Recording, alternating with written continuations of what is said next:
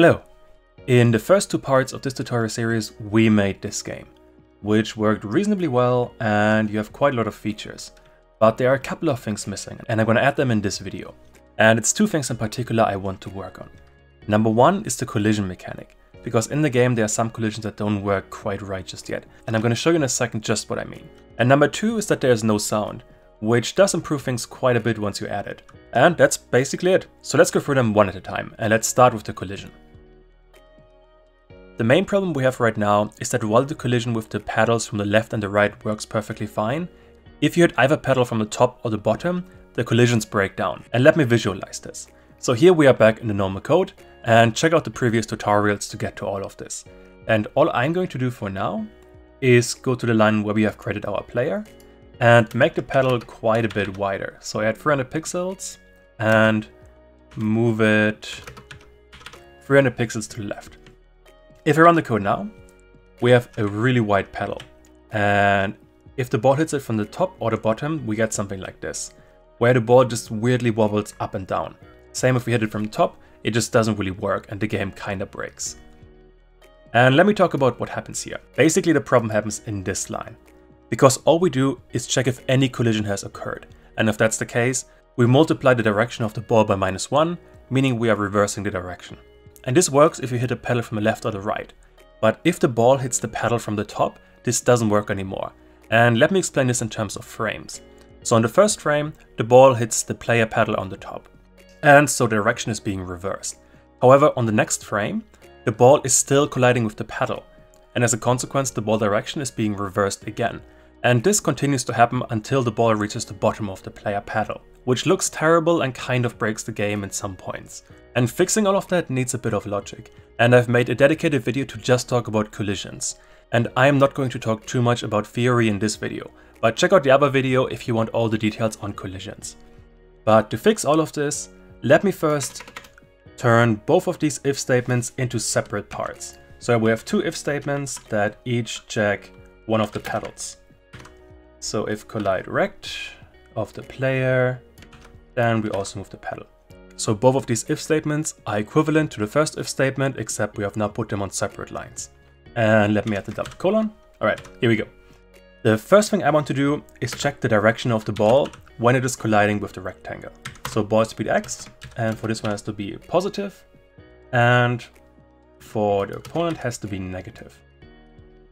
And let me add an end for both of them, that's really important.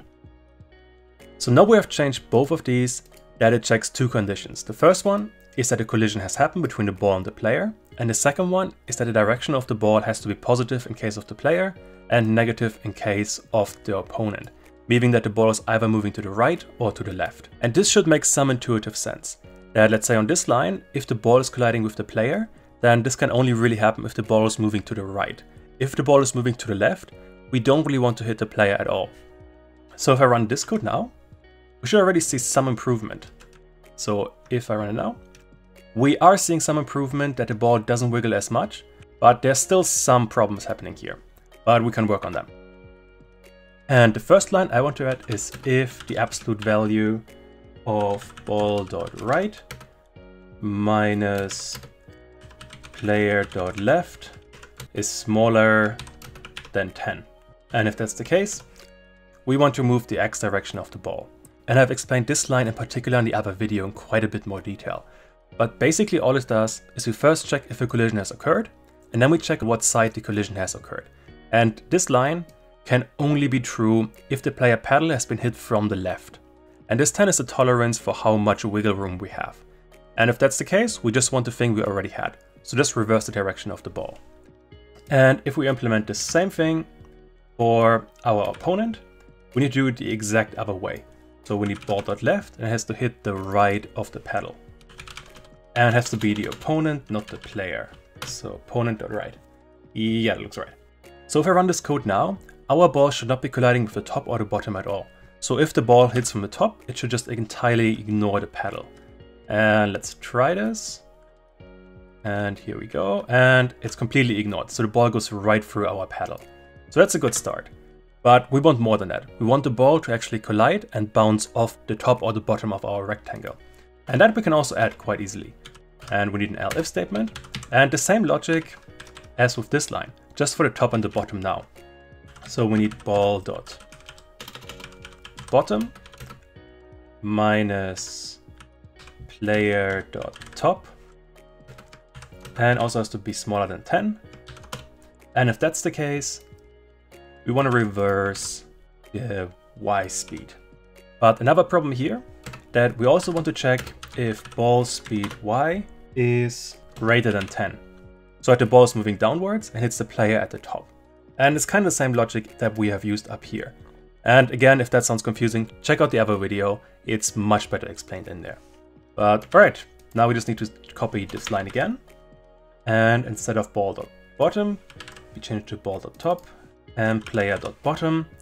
And now y has to be smaller. Oh, and this isn't 10, this is 0.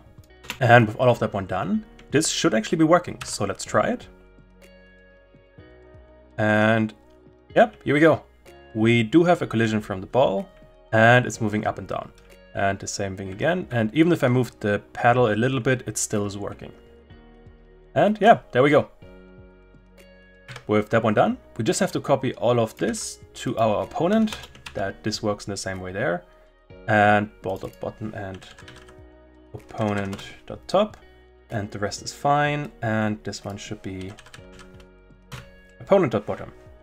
And that's pretty much it. And now we have proper collisions for both of the paddles, which is quite an improvement. The only thing left to do is remove all of this that we have a normal size player paddle again. And if I run this now, this should look as normal, but now the difference is if either of the pedals has been hit from the top or the bottom, then, then the game doesn't break. So this is a nice improvement. And that brings us to the second point, to add sound to all of this. And adding sound in Pygame is actually fairly simple. There are two steps to it. On the first step, you have to import the sound, and in the second step, you have to play the sound in certain parts of your code. And in my case, I have two different sounds. One is called pong, the other is called score. The score sound is being played whenever a score was being achieved. So if the ball has gone too far to the left or too far to the right. And the pong sound is going to be played whenever the ball has collided with either the pedals or the top or the bottom of the screen. So let's implement all of that. And here I'm back in my code. And at the bottom where we initiated all of the other variables, I'm gonna add another part and that's gonna be sound. And I have two files that I want to store on variables. The first one is pong sound. And to import sound into Pygame, we need pygame.mixer.sound and make sure the S is capitalized. And then we need the name of the file, which in my case is pong.ogg. And then for the score sound, I copy this entire line, just change this to score, and the name of this one is also called score. And as always, make sure that both of these files are in the same directory as your code. Otherwise, you would have to give a more specific direction towards them. So now we have covered the first step, that we have imported our sound. Now we just need to play it in certain parts of our code. And this happens in our code all the way up here in ball animation. And the easiest one is this line here, when the ball either hits the top or the bottom of the screen. And all I want to do is pygame.mixer.sound.play play. So this is to play a sound, and now we just need to tell Python what sound to play, which in my case is Pong sound. And now we need this kind of thing in all of these different cases, and then we have our sounds. So I start with when the ball collects with the player, then when the ball collides with the opponent. So this is all the Pong sounds. Now I need when a score is being achieved, so this one will be score sound, and then the same for the other score. And that is pretty much it. If I play the sound now, this should be working. But there's a problem to that. And that is when we play this game right now, all of the sounds are being delayed by a couple of milliseconds, which does sound really, really strange. And let me explain why this happens. Basically, Pygame tries to account for really slow computers. So before it plays a sound, it tries to buffer the sound and only plays the sound once it's fully buffered which avoids broken sound on really slow computers, but also delays the sound by quite a bit. And we need to specifically turn this kind of thing off, so we need to reduce the buffer size. And that is really easily done. So here I'm back in my code on the line where we initiate Pygame. And what we need to do is to initiate a part of Pygame specifically. So we want to look at pygame.mixer and the line is called pre-init. So when Pygame initiates all of it, it gets some specific information on how to initiate the mixer module. And there are a few arguments you don't really need to worry about. The first one is the frequency, and that was 44,100 by default. You just don't worry about this one. Then we have the size, this one is minus 16 by default, also don't worry about this. Then we have the channels, and this one is 2 by default, and you can just leave it as it is. And now we come to the important part, and that's the buffer size. And by default, this one is 4096. And the high value causes the delay here. So we have to change it to a smaller value, let's say 512. And once we have that one, we can run the game and this should work perfectly fine.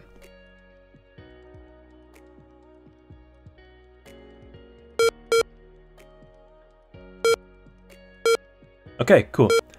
But you do want to be aware of that this value should not be too small. And let's make it really small. Let's say we're gonna make it 64. If we play this now, it is going to sound terrible. But that's basically it. If I return this to 512, then we have a proper working game. And yeah, hope that was helpful, and I'll see you around.